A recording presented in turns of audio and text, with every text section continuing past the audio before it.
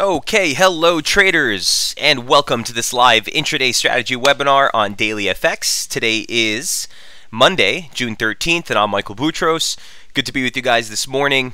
Uh, Michael, good day from Sydney. Great to see you here in the room. Mark, we got all the SB crowd in here today. Great to see you guys.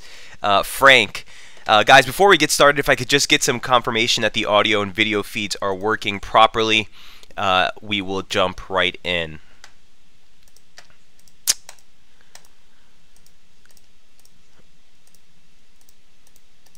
Lionel, uh, cable, in light of Brexit and the U.S. shooting, we'll definitely take a look at cable. Brian, I see some comments here with regards to, um, you know, the events that the horrible uh, tragedy that we saw in Orlando over the weekend, how that'll affect the markets. We'll go over that in a moment. Uh, Michael, loud and clear. Pooja, thanks for that. All right, good to go. Brian, thank you, sir. Guest, thank you. All right, so I guess I'll, I'll apply. I'll you know address that really quickly, guys. As far as the events in, in Orlando, obviously it's the humanitarian effect is devastating. The impact it's going to have on markets should be rather limited. Um, when you look at events like this, it's really what does the event entail for future policy, either from the fiscal side or the monetary side. Uh, I don't think you're going to see any gun laws change ahead of the election, um, and therefore the limited the impact on markets is likely to be limited, especially on a week like this week where we get um, the Fed. So I do want to move into the Fed before we get started into the details here on what expectations we do have. Uh, but again, as far as the tragedy in Orlando, guys, you know, I wouldn't necessarily call that a tradable event uh, or something that's going to spark necessarily uh, a trend that we can work with. So uh, again, we, you know, our hearts reach out to everyone in the area. Um, absolutely devastating. Obviously, the worst uh, terrorist attack here in the United States since 9/11. So, um, our prayer go- our prayers go out to them.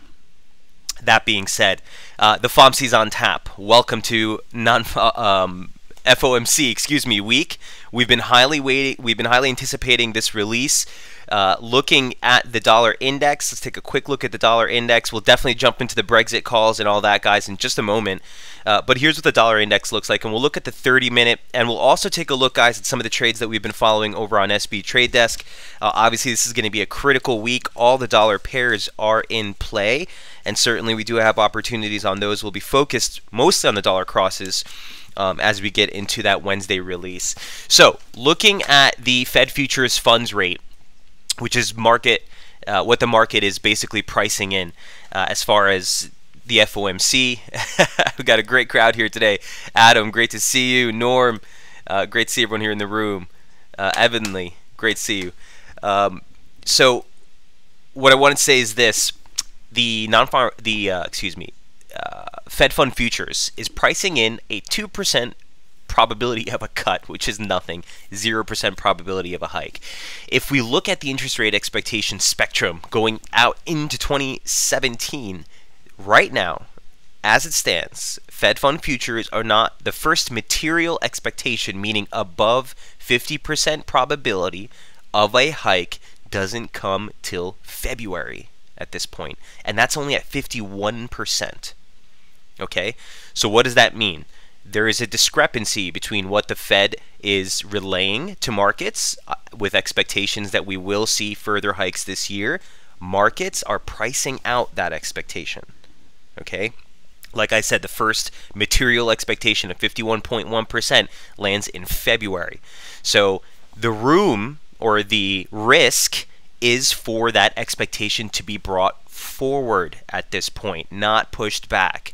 Meaning, if the Fed comes out and is a little bit more hawkish, if they start to pad expectations that they were kicking out those interest rate hikes, you're likely to see the dollar remain supported. Now, it depends where the dollar is trading as we head into the release. Obviously, Fed Fund futures can really shift, and you can see that be a very variable uh, reading as you head into the release. Uh, we'll keep you updated on SB as far as different uh, you know shifts in that gauge. But as it stands right now, the markets aren't expecting any interest rate hikes this year. So if they do start to bring in those expectations, look for the dollar to find some support. Now, it doesn't mean that we're full on bullish the dollar just yet. And we'll go over those uh, levels in a moment. But certainly those are the expectations. Also, keep in mind one very important thing, guys. Um, and the fact is that this is not your run of the mill interest rate decision. We're going to be getting the quarterly projections as they pertain to growth, unemployment, inflation, and interest rates. And certainly the dot plot has been certainly the, the major, major market mover as we get these projections, where the Fed committee members see interest rates and what's the appropriate time of timing moving forward. Uh, I wrote a little piece on Daily FX. If you guys uh, are subscribed there, or if you're on my distribution list, you would have gotten this over the weekend. But if you go to the uh, market forecasts, I do write the gold forecast every week um, for Daily FX. You can see that the median Fed funds rate, okay, heading into 2016 is somewhere in the range of 0.75 to 1%. That's what market expectations uh, were at the last quarterly projection. So heading into the end of 2016, you're looking for 0.75 to 1% for the median rate. Okay, we're currently right now at 0.5. So if we move out, or 0.25, excuse me, if we move out to um, the longer term terminal rate, which is sort of the normal rate, expectations are at 3.25.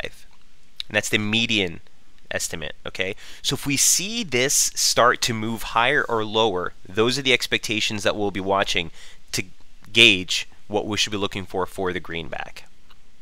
All right. Um, so any questions on the Fed? Feel free to throw them out throughout the, the session, but that's sort of the game plan moving forward. Looking at the dollar index, the daily chart is extremely dirty or ugly, whatever you want to call it. Uh, I'm really more focused on the 30 minute, which I'll show you in just a moment. But the levels of which we came off with pretty pretty clean on that end. The structural decline, you saw a break above the upper median line parallel. We broke right back below it early this month. We're back above it, treating it as support here today. Um, more importantly, you're looking at a 618 clean retracement that we made back last week with a clean rebound off that, giving way to this rally that we're seeing. Okay, broadly speaking, you're still looking at this within the confines of a broader downtrend. This is just simply a sliding parallel of the same slope and you can see that govern the highs that we made off last month. So the 30 minute chart, and this is what we've been following uh, over on SB Trade Desk, looks like this. Okay, and here's what the 30 minute chart looked like last week. This was back on the 9th. And we had gotten a, a topside break of that near term channel. The near term bearish invalidation level was 11,839 to 11,845. Once that broke, you're looking higher. Initial targets 887 and 902. We just missed that 902 level. Oh no, we got it. I'm sorry, this is the 50. Um, so this is the 618. We just turned ahead of that on Friday. Basic trendline resistance off the highs, capping that advance. Okay, so we'll be looking for the opening range for the week to give us some play. Keep in mind, guys, heading into a release like this, you're likely to see a lot of chop on the dollar crosses as we get into Wednesday's release. Um, this is again, although we're not expecting any change to the main refi rate, certainly this is going to be um, the major event risk for the dollar crosses heading into this week for sure. Uh, and it's basically based mostly on the quarterly projections that we're going to get.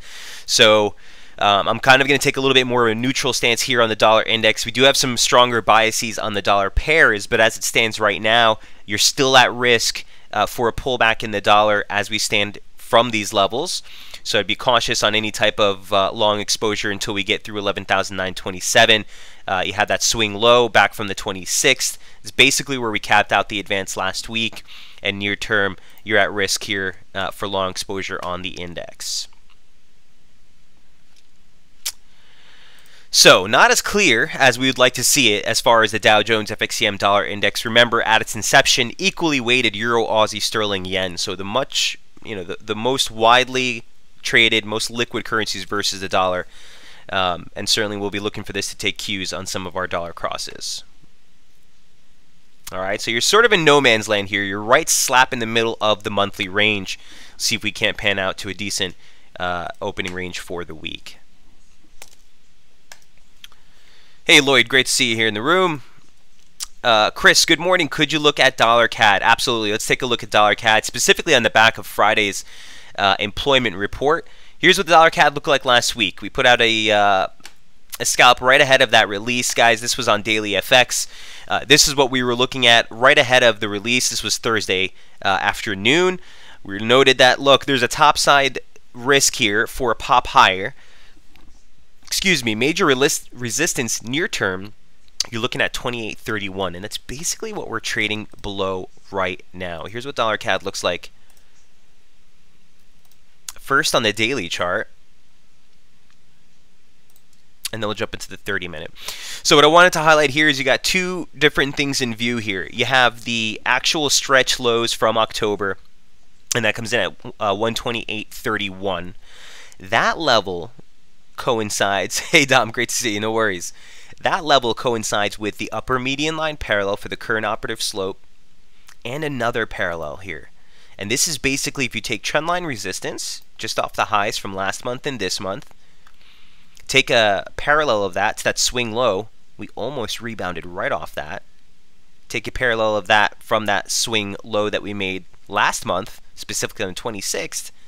That converges right in that region heading into the next few days. So Near-term resistance 128.31 is sort of the level I'm looking at for dollar CAD. Here's what it looks like on the 30-minute chart. And here's what it looks like, again, comparison to what we had last week. So we've made it through um, that first target at 27.56. Here's 28.30. Again, that converges right here now as we move this forward in time. Um, and heading into obviously the FOMC, but more importantly, just the start of the week, I am looking for a little bit of a pop higher here uh, to possibly offer some fresh short exposure into that upper median line parallel. Depends what it looks like. The immediate upside bias remains intact. Uh, from Friday's release.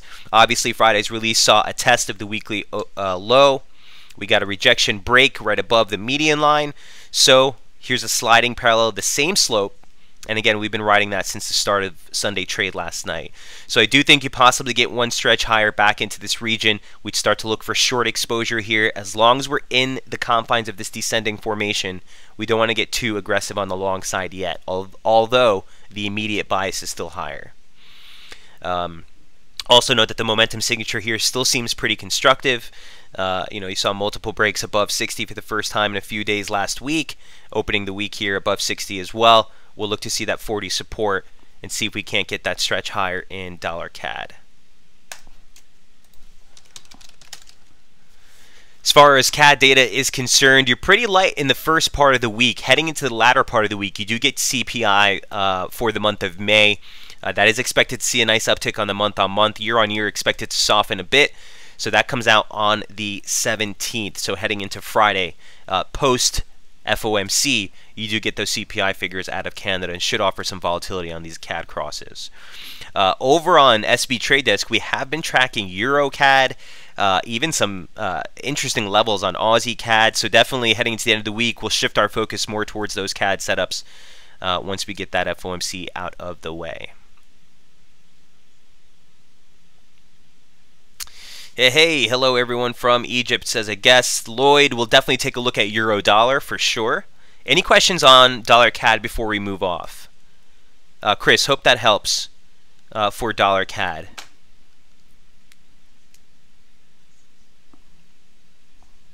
And again, we'll be giving an update over on SB Trade Desk as far as all the dollar updates are concerned right ahead of the release. Uh, by the way, I do see a question here. Uh, if you're interested in subscription to SB, we are still running that ad or, or that um, promotion. So uh, here's the link. This is a service run by myself and Chief Technical Strategist from DailyFX, uh, Jamie Saettele, um, offering trade setups on a uh, near-term and longer-term basis, as well as daily webinars for this same style of trading. Do you still see the long-term bullish, Chris? Hey, you're more than welcome. I think you're talking about dollar CAD still, right? So here's the thing, uh, Chris. Obviously, for the purposes of this webinar, I'm much more near-term trader, right? Uh, I don't really put on positions for months on months on end. This is what I would point out to you. I think this is like the coolest thing, Chris. Uh, we've been following this slope over on SB for months now. A couple of things I just want to note. A, you know, the break. Um, let me highlight this first. 129.76. Okay, if you guys remember, early in the month for May, this outside day key reversal came off of a critical support level, Chris. Absolutely paramount. 25 uh, 11 into 25 37. We were tracking that for months on this decline. Wasn't expecting a rebound quite this sharp, but hey, support is support. Look what was there. You had a former trendline resistance that dates all the way back to 2002. Okay? Then you had basic parallel resistance from that trendline support, support, and you saw another rebound here last month. Okay? So for me, Chris, this is what we would need to break below to invalidate the broader uptrend. So near term, yeah, I do think that you could see a spike into 2830. You can see this thing turn around.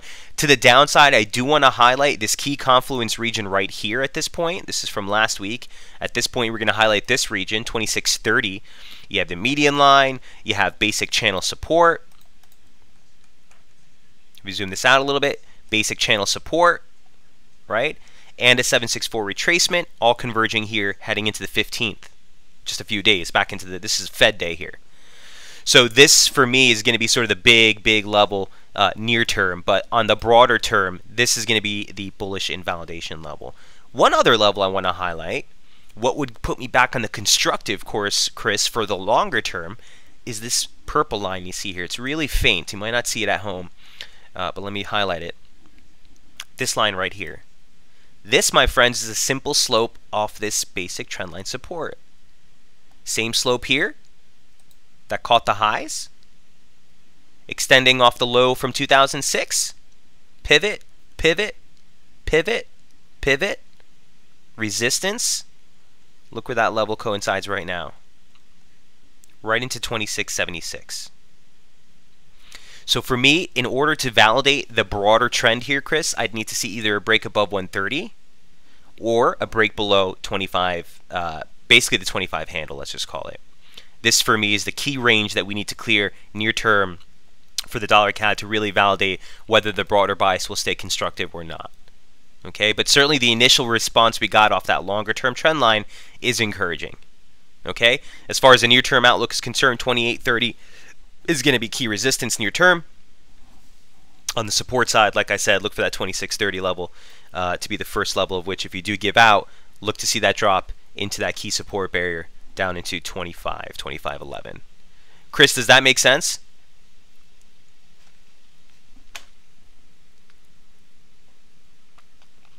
We've been all over this one. A lot of this is going to be based and determined by whether or not we get a Fed that is more hawkish or a Fed that is more dovish. Remember, we haven't really seen much from the BOC.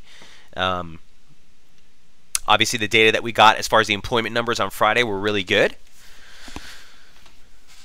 but we'll see uh, if that participation rate is a concern. Remember that the participation rate did drop, although you got a much bigger than expected expansion in jobs, and although you got a much bigger than expected drop in the headline unemployment rate, you did see a contraction in labor force participation. Never a good thing, okay? And as we always note, that will tend to put artificial downward pressure on the headline unemployment rate.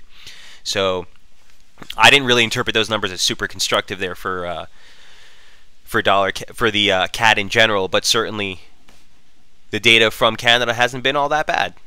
Hasn't been all that bad. Hey, Chris, you're more than welcome, man. Great to see you in the room. Okay, so that is dollar CAD. Spent a little bit more time on that, but I hope uh, you got some clarity on that. Moving forward, I do want to look at the Kiwi dollar. This is another one that we highlighted over on Daily FX uh, ahead of the RBNZ uh, or this is post the RBNZ breakout. So first I want to go over the daily chart and just want to highlight this critical region. You know, we talked about the initial resistance region that this thing was heading into post the release, the first initial target was 7108. That's the 2011 low. Then you had this critical region at 7150, which not only represented a basic key 618 retracement of the entire decline, but also basic channel resistance. And this is just a parallel of channel support. Here's what the Kiwi dollar looks like now on the daily.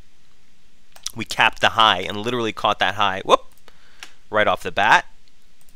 Okay, so that ended up being a high stretch right into that region before we pulled off. And the key region heading deeper into the month is still going to be the 70 handle into that 7150 zone.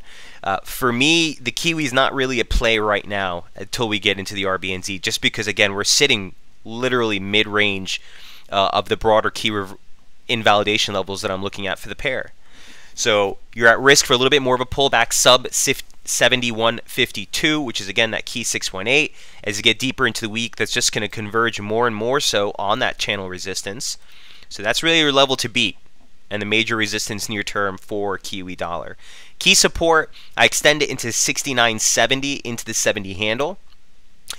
Uh, you know, we've been following this chart again for months, but here's the deal. You got a probe breakthrough March, you got a probe and a breakthrough here in May. Both of them closed above, but it was also the origin of that breakout post RBNZ. So I do want to keep my eye on that 30 pip region here. Also, if you extend out further, a basic trendline resistance extending off the October highs from last year. I'm sorry, this is 2014.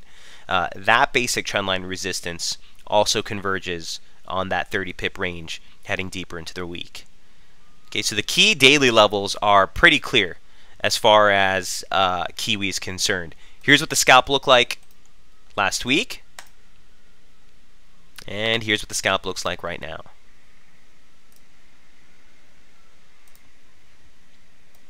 Whoops. So, um, 7150, the major resistance that we just talked about, even on a near-term approach, aside from just that 618 on the daily chart, the slope of the advance, if you take a sliding parallel of that same slope and extend it off some of these highs that we made in March, or excuse me, this is May, you can see that also turning just ahead of that confluence resistance zone that we're looking for. So here's the open of the week. You're above the median line. This median line right here is defined by this median line that you're looking at, guys. Okay, we're back within the confines of this initial upside pitchfork. And, oops, and the focus remains higher in Kiwi dollar. Or let me take it back. The bullish invalidation is 69.70. And that matches here very nicely with the lower median line parallel. A basic 38.2 comes in at 69.66, just lower. And of course, on the daily chart, we already highlighted that 69.69 level as that 50% retrace and confluence of some median lines here. So the levels are pretty clear. Uh, the levels are pretty clear here on Kiwi. I'm looking for some pullback. I'm looking for some more dollar definitive action here to get involved. Um, but I do think you possibly see a stretch lower here before it makes a final stretch into a high. Um, again, I'm not looking to target anything on the long side, even if we do get some triggers, guys um, ahead of 7150. That's really the major, major level. For a guest who's asking a very general question here, I'm going to need some more background information. Dear sir, please, I want to know what's the best strategy for new scalping. So, um, guess there is a lot of different ways to attack the markets. Um, there's a lot of different strategies that you can use on a near-term basis. Uh, my strategy is one of which we focus on the levels. We have a near-term momentum oscillator that just helps us define what the near-term momentum profile looks like. And we got a broader invalidation um, trade. So basically we're constructive above a certain level, we're looking to buy dips above that, or we're bearish below a certain level, we're looking to sell rallies below that. Um, and we look to attack about 25% of what the daily ATR is. So if you're putting in 100 pips on a, on a pair on a daily basis, um, you know, that'll give you a, a, profit target of about 25 pips per scalp. So remember, uh, the biggest most important thing I need to just stress for you guests who's just getting started in, in near-term trading or scalping is your risk management. Okay, a lot of people will look to say, "Hey, I'm only looking for 20 pips. Hey, I'm only looking for 15 pips." and all of a sudden risk management goes right out the window, right? We still have to maintain a minimum of one to one. I mean, that's like if you're aggressive like I am. Uh, otherwise, we'll still want to see if we can get a two to one where we can stretch it um, to maintain that risk reward ratio. But there are guys who use purely momentum. Uh, I know if you watch James Stanley's finger trap uh, strategy, it's, it's, you know a purely momentum based uh, scalping strategy. There's guys who will be looking at one minute charts, right? It really depends on what your time horizon is, but you're in the right place. So if you have specific questions, guests, do feel free to let them out or do feel free to post them on the message board. If you have a minute, can you also take a look at oil? Chris says dollar CAD follows it closely. Thanks, absolutely. And you know what? It's a good uh, it's a good segue right here. Uh, so for the oil trade, you may have seen this posted uh, on uh, MBForex on my Twitter handle. For those of you on SB, you've been watching this trade for uh, months and months and months. Guess what? we were very close uh, to calling the high on this.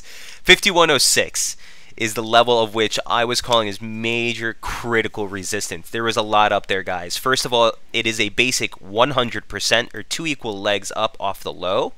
It's 5106. You have the upper median line parallel for the current operative structure we've been following from the highs that you made in February and May of last year. Okay. And also, you had that stretch high from October, and all of those coincided right in this region. You closed, you probed right through, a reversal day, an outside reversal day off of resistance, sort of one of your key reversals, and one of those reversals that tend to put a bearish bias on the pair, was accompanied by a trigger break in momentum.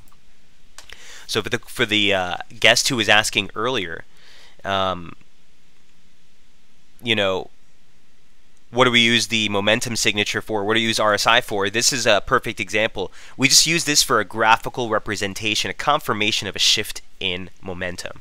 Okay, just as you draw trendline resistance in price, uh, trendline support and resistance in price, you can do the same in momentum. And while this is not anything as a standalone strategy, it is certainly confirmation. It helps us give us conviction on our on our near-term biases. Okay, uh, there's nothing magical about any oscillator, guys. Anytime I talk about an oscillator, I always preface it by saying they're all backwards looking. There is not one oscillator that is forward looking. Okay, they tell you what happened, not what's going to happen. That being said, when you see something materializing in price and you get those trigger breaks in momentum, again, a lot of times it'll give you that confirmation, that conviction to put a little bit more. Sometimes it'll attack those a little bit more aggressively. That being said, near term, you're at support right now for crude. Okay, right now. Is that a call for to go long? Absolutely not. Uh, you might see a pause here. You could see a bit of a rebound, but all I do want to note is this: the break below 47.70 is what I would need to validate a break lower and a reversal in crude. Why? That is a basic opening range for the month. Here's your monthly open. The monthly low comes in at 47.73. You stretched into key resistance. An outside day reversal put us bearish. Now you're looking to test the monthly opening range low. So again, your basic opening range strategies. You look for the market to set a high or low first week, week and a half uh, of the month. You look for that range to break, and that trend will typically extend towards the latter part of that month. Um, we saw it last month. Uh, here was the break that we got on the 12th after setting the opening range. A very well-defined opening range below the April high day close. You saw that close above on the 12th, gave you an upside bias, push into a late month high. Similarly, the previous month, you got a really early week opening, uh, monthly opening range there. You got the opening range break on the 8th. You came back and tested it as support. It held. You closed the month right at the highs.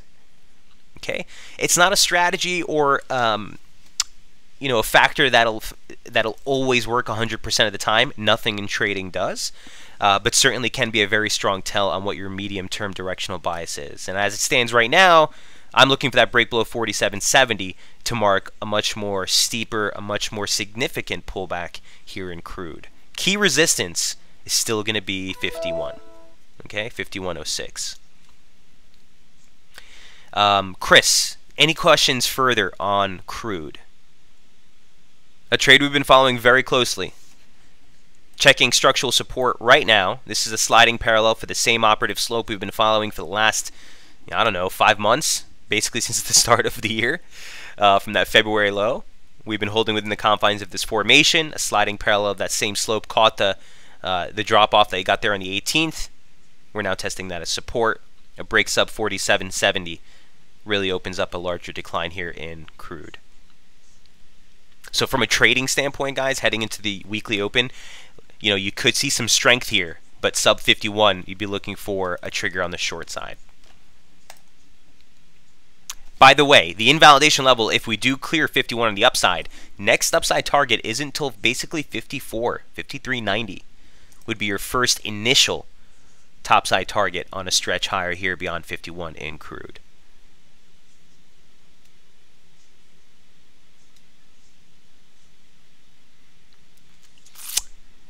Any other question? Uh, Chris says no. Thank you. You're more than welcome, Chris. More than welcome, sir. I'll see you tomorrow morning in SB. Um, uh, Chris saying so bearish oil means bullish dollar CAD. So I would be cautious to really work too aggressively with that type of um, correlation corollary um, biases, Chris, heading into the FOMC. But yes, if we do see uh, crude breakdown, that means CAD weakness. That would tend to put a little bit more upside slope here in dollar CAD, which is why it kind of makes sense with what we're seeing in the loonie right now, right? We just went over this earlier. Uh, you can see a scenario where dollar CAD uh, stretches into a new high. Oh, here we are already on the way uh, towards that 28.30 level we talked about earlier. Maybe even the upper median line parallel uh, would give crude certainly an opportunity to check those lows and see if we can get a downside break of that monthly opening range.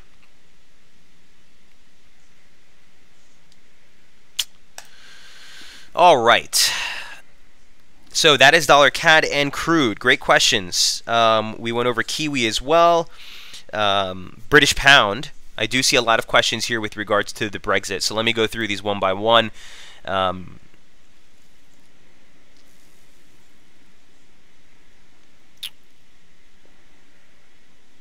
yeah, you're more than welcome, Chris. Uh, guest from the UK, great to see you. Okay. Cable, that was Lionel asking about cable in light of the Brexit uh, and the U.S. shooting. Again, we're not going to get into the U.S. shooting and that's impact, but certainly cable uh, heading into the Brexit vote on the 23rd. There's some questions on the Euro too, so we'll go over both of those for Jamie and Lionel. Here's what the uh, British pound looks like first on the daily chart, um, and then we'll go into the 30 minute. So look, heading into the Brexit vote, obviously you're going to get these polls. They're going to come out on the daily. They're going to shake things up. You're likely to see a lot of back back and forth action here in in sterling, guys. It's known as a professionally traded market. It's known as a trade that gives you uh, the throw over, a break of resistance and a close below, uh, a false break of support and a close above. Uh, you know, this pair is known for this kind of price action, and certainly um, heading into the Brexit vote, it's probably only going to be exacerbated. Now, that being said, I see a question here that's very concerning. Who was that? Jamie. What are your thoughts on euro dollar, both long or short, before the Brexit vote? Uh, or before the Brexit. Jamie, are you talking about taking a hedge on long and short euro dollar, Jamie, or are you talking about which one do I prefer?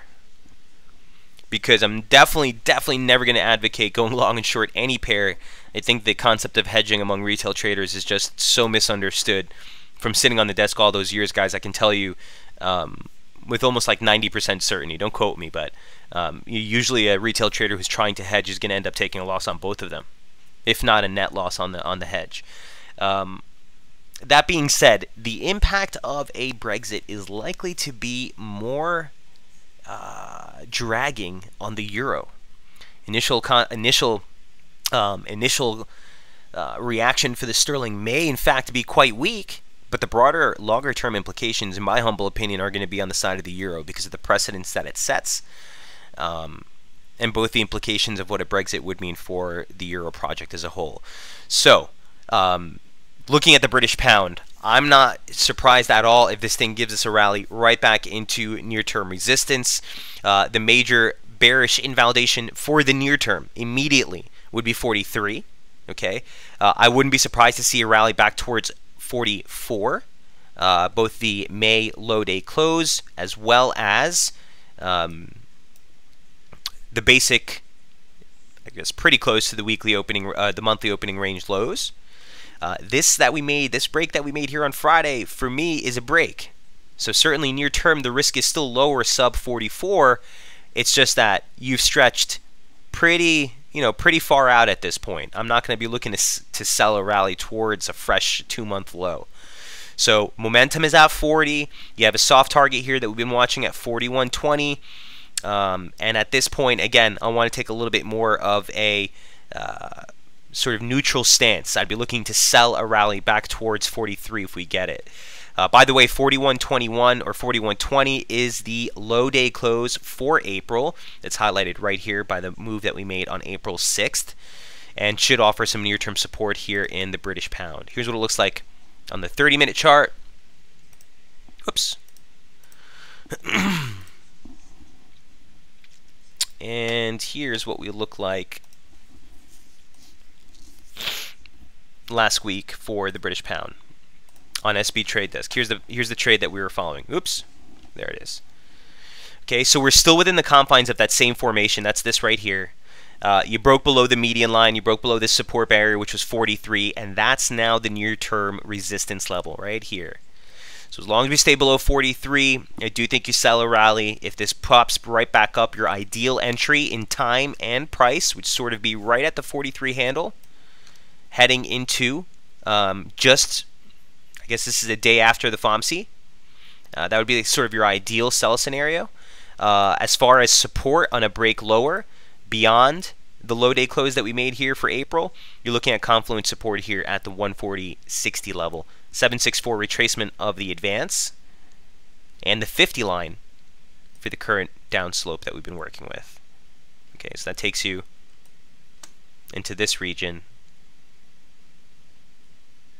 in time. That's right ahead of FOMC. So again, Sterling, the broader picture still looks lower. Do I have a scalp setup or a play necessarily from here? Not necessarily. And guys, remember, specifically with near-term trading, it's not just about knowing the directional bias. It's not just being right on whether the market's going to move higher or lower. There's got to be a setup.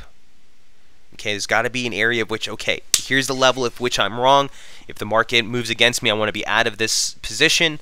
Um, and with the same respect, we have to respect that risk to reward ratio in every position that we take.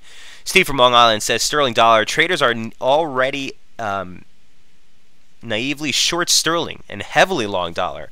Uh, something for the bears to think about. Absolutely. And this is something you're going to want to track on SSI for sure. Um, everyone's expecting that the pound is gonna is gonna is gonna you know fall off the side of a planet if we do see the Brexit vote. Markets have been you know, taking this into consideration for months, and certainly over the last couple of weeks, we've gotten a couple of, poll, polls, excuse me, that have suggested that we are leaning towards um, uh, a leave vote.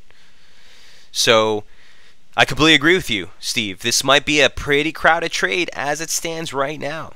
Um, that being said, from a technical standpoint, yeah, you're still bearish sub 43. Um, would love to see a little bit more of a concerted rebound off of uh, 40 60 if we get down there. Bearish invalidation uh, would need to be a break above that 43 handle, specifically 43.50. for the pound. Any questions on sterling?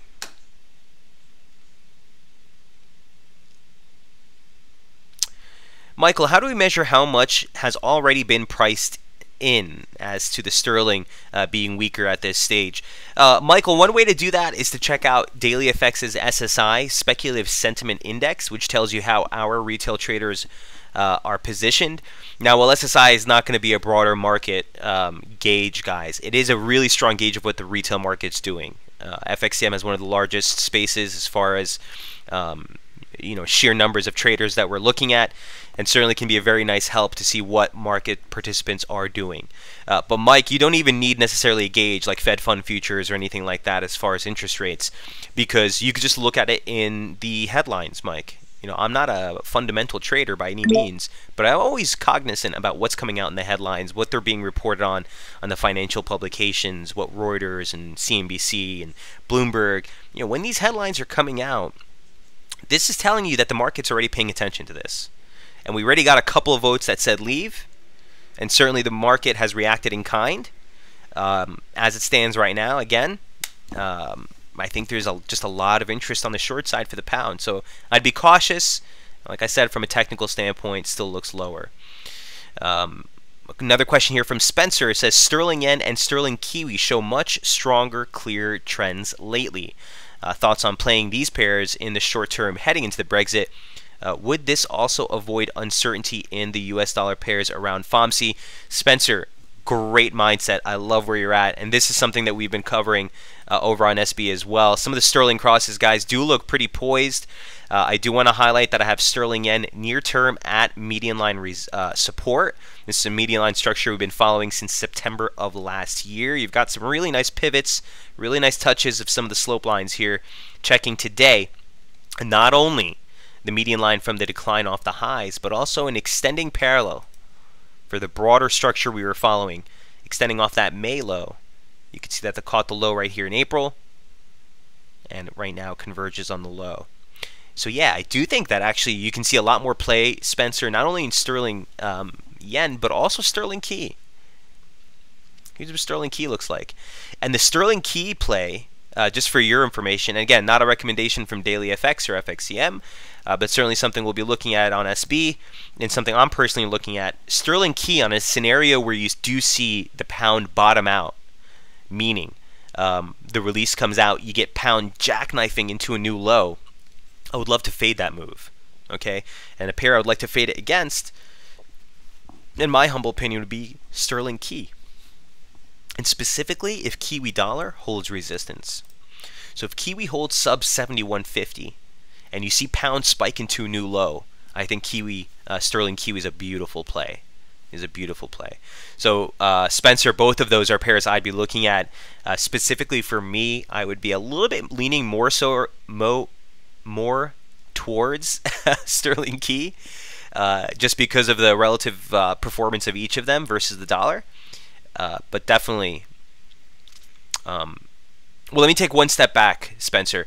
Heading into the Brexit, the Fed volatility should more or less have uh, panned its way through the market. Okay, so I wouldn't necessarily say you want to avoid dollar pairs heading into the Brexit. Heading into the FOMC, heading into this Wednesday, sure.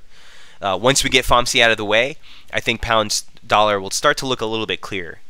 Uh, but that being said, certainly the other uh, pound Kiwi trade does look very, very interesting.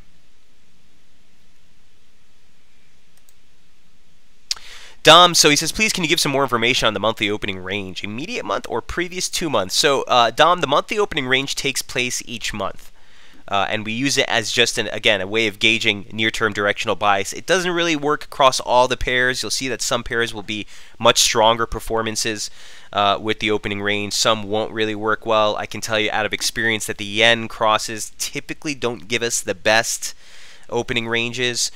Um, but if we're looking at a, at a pair like the British pound, I think is what we were using earlier as an example, or uh, dollar CAD or something like that, you're looking for the first it's not a defined.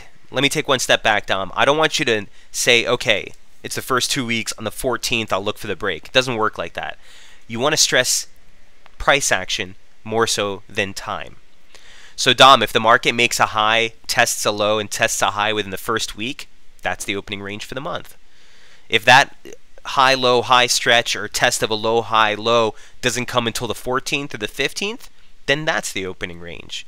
But you're basically looking for the market to test a high, low, high early in the month or a low, high, low early in the month to give us that break, looking for a late month move. So for example, here is an opening range for Febu uh, for November in Aussie. You made a high, you made a low within the first six days of trade. That opening range didn't break until the 20th, and you closed that at the highs. So um, you're looking for that opening range within the first week, week and a half, two weeks of trade. Now, Dom, you use the same strategy on a weekly opening range basis. So you look for a Sunday, Monday stretch or a Sunday to Tuesday stretch where you set a low, high, low, high, low, high, and you look for a break of that to stretch into the weekly extreme.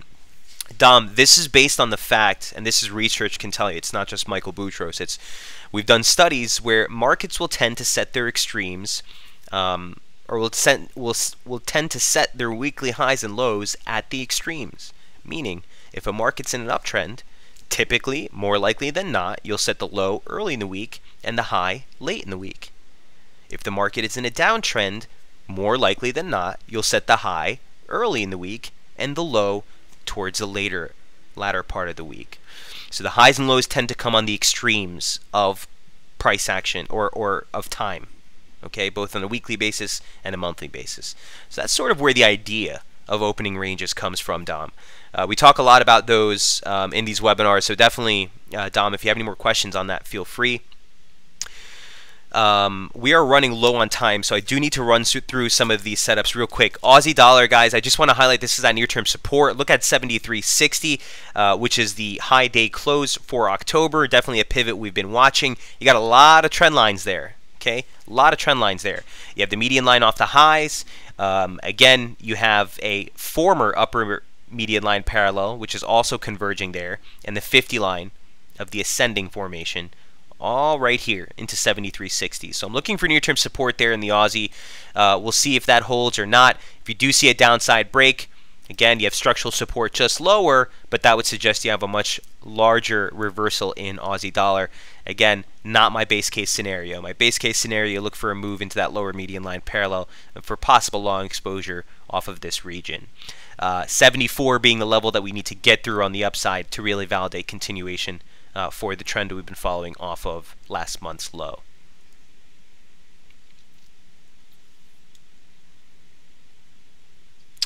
Okay. Um, hey, Michael, you're more than welcome on that. I appreciate it. Uh, a guest saying, Hi, Mike, I agree uh, Brexit vote would hit the euro expectations as well as fears of investors' exit from the UK would probably also trigger resignation of the Prime Minister Cameron. In the next two weeks, sterling will react to dollar, and every silly announcement by the UK uh, campaign teams can't see retail traders being wise uh, to be in sterling market on the 23rd of June. Uh, it will bounce. All right, so the guest who's noting this comments. Um, yeah, I don't really know if I can comment on that per se, whether traders are being wise, being in the pound into the Brexit or not. You know, retail traders are going to do what retail traders are going to do. Um, I agree with you that the headlines have sort of been polluted with this for way too long, and I think markets are starting not only to be pricing it in, but also getting kind of numb to all these polls. Um, so look, guys, from a near term prospect, we're not going to mess with it until we get into that release at the end of the day.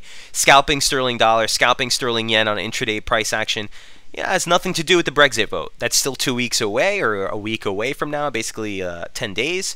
And, you know, we'll cross that bridge when we get there. Uh, in the meantime, price action is what guides our trades, price action is what we study, and price action is what we're going to follow. Very simple. Um, be mindful though that you know this guest is absolutely right. Anytime you get some official coming out or a new poll or something, uh, you're going to see a lot of volatility in the pound crosses. Oh, Mir, great question, uh, and I've been getting this a lot lately. So um, he says the U.S. dollar is strengthening at the same time gold is strengthening. How does this add up? Safe haven and risk off? Great question. Okay, here's what the gold trade looks like, and this is something I've been following also as well. You can see this on the recent gold uh, forecast over on Daily FX. Uh, look, there's a whole different bunch of hosts of reasons, and if I was on CNBC right now, I could come up with a whole bunch of smart-sounding reasons for why the fundamentals point to gold rallying. Uh, but look, at the end of the day, you have um, monetary policy across the globe rushing to the bottom, right? You got negative rates, you got expectations of lower rates from the RBA, expectations of lower rates from the RBNZ, um, and such. You got concerns over slowdown in China. You got concerns over what's happening with the Brexit vote. And then the real thing that sort of triggered this whole bout of gold strength was the weak non farm payroll figures that we got from the US. And certainly that was the weakest numbers that we've gotten this year. Um, they also saw uh, an additional contraction in labor force participation, which is not a good thing. We talked about that at the top of the hour. And some of these concerned is some of these concerns is filtering into, in my opinion, a slight risk-off environment. Now, is this full risk-off? No. Um, I wouldn't say that by any means because you're still looking at equity markets pretty damn close to the highs. You might not be trading, you know, at the record all-time highs, but you're still within the weekly opening range. So, by the way, this is the S&P 500. Good way to segue into it. Uh, setting a very clear monthly opening range. Okay, a monthly opening range low, you're heading into it now near 2084. Monthly opening range high came just ahead of the high day close from last year. and that's the range break I'm looking for heading deeper into June trade. Note that you're getting some momentum divergence into these highs, price action making higher highs on a closed basis, the oscillator making lower highs, and failure to hold above 60 here does suggest you're at risk for some more near-term weakness. Now, for the S&P, if you do see a downside break, last month, keep in mind, we saw a topside break of the opening range way late in the month on the 25th. We closed right at the highs. So if we do see a downside break here on FOMC, or uh, if we do get that trigger to the downside, you're looking at a drop basically into key support, which is at the yearly open at 2057. Okay, that's the 2016 yearly open.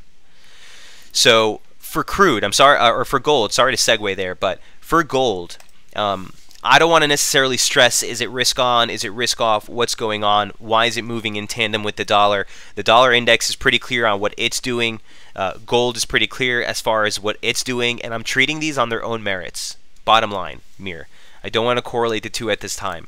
Um, I can tell you that the break above 1262 that we saw last week did shift near term the focus to the upside. I was looking at resistance at 1277, which is what we posted on that forecast for Friday. Uh, and here's the break.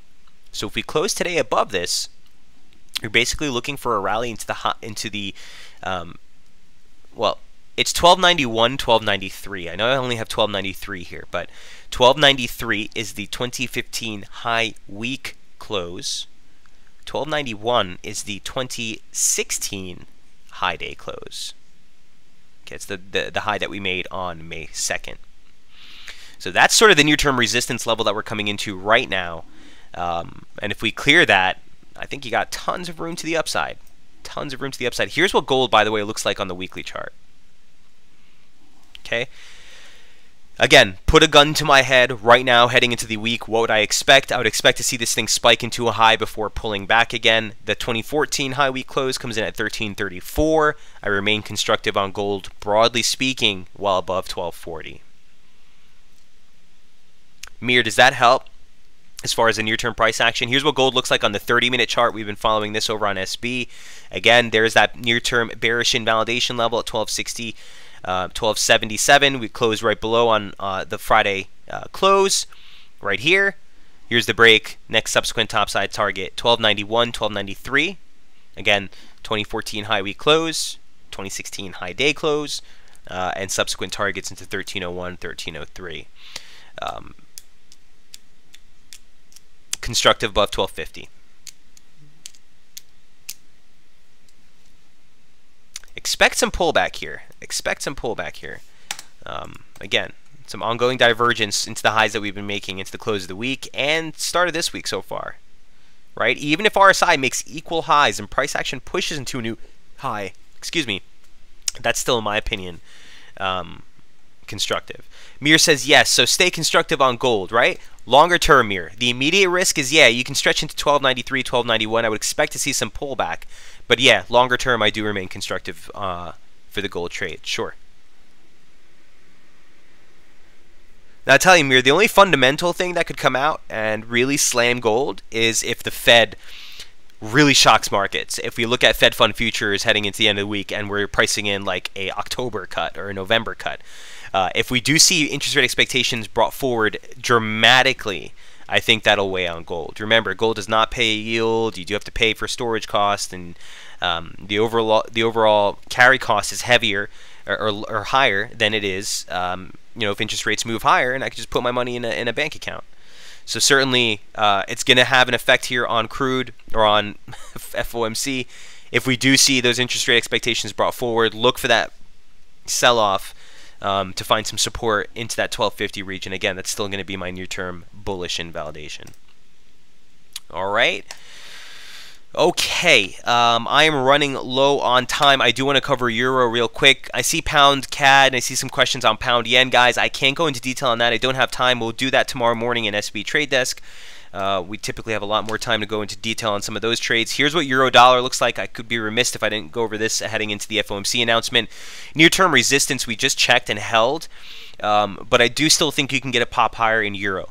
So watch this region. I'm looking at the median line extending off the highs there. Also looking at a 50% basic retracement of the advance off the lows. Key resistance we reversed off of like textbook with an outside day reversal here on the 9th, just ahead of that 618 retracement. Here's what it looks like on the 30 minute chart. And here's what we look like on SB uh, last week. Okay, so heading into the end of the week ahead of that Friday release, we were looking for a drop towards 1281 and 1255. We got that. There's 1281, there's 1255. We're straddling 1255 right now. That's this region, this region right here around the 50% retracement. So I'm looking for a nice weekly opening range break here. I favor a topside rally uh, that would give us just a pushback towards resistance. Um, key support at this point, I'm looking right here at the 618 into the two the 100 day moving average. So 1210 into 1217. If you do see a break below that, uh, in my mind, that would constitute a much larger pullback here for the euro. Um, you know, in such a scenario, you're basically looking for a drop into that lower parallel. And that could take you as low as like 111.40, 111.50, depending on where we are in time. So near term, the focus is on this region right here as we straddle that 50% retracement. Uh, immediate soft resistance at 1280 near-term support 1217 into 1210. All right, and we'll give you updates again on this as we get deeper into the week um, and closer to non-farm payrolls. Any questions on the euro?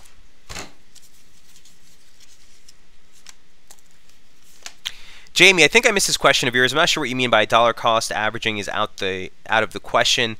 Um, I wouldn't say that. Uh, I do dollar cost average a lot, but here's the thing that I will do that I guess a lot of retail traders do the opposite of. Uh, I want to cost average into a winner, not a loser. So a lot of times the market will be pulling back. All of a sudden I'm taking a long position here, right? Uh, the market breaks that near-term support. Well, the next level Mike is looking at, at is at 1217. So if the market drops in 1217, I'll buy some more. That's not something I'll do. Why? just doesn't make sense to me. Now every every pip lower, you're exponentially losing more, right? I'd rather cost average into a winner. I'd rather see that low hold, topside break, a pullback, give me another hold of support, entry on the long again, give me a little bit more of a run, right? Dollar cost averaging into a loser is a really quick way to make a mess of things. Now, this is as it pertains to near-term trading. I can't speak of that if you're looking for a more medium term approach. I know if you're someone who's looking for, you know, four, five, six hundred pip move, sure, the market moves back a 30 pip uh, drop into the next support barrier, and you see a long trigger, might be an opportunity to load up even more. Uh, but from an intraday standpoint, I could just tell you from experience, guys, that's a real quick way to really uh, chop yourself up. So as far as cost averaging in, I'm always going to, you know, favor cost averaging into a winner uh, as opposed into a loser. So a little note of uh, a little note there, Jamie. I hope that helps answer your question.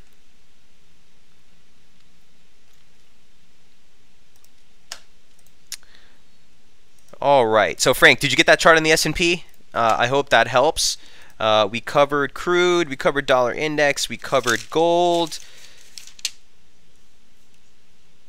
and Aussie 7360 support, Euro dollar watch this straddle at 1255. All right, that's all my notes for here today. US markets just came online, so I'm going to go ahead and wrap this up here.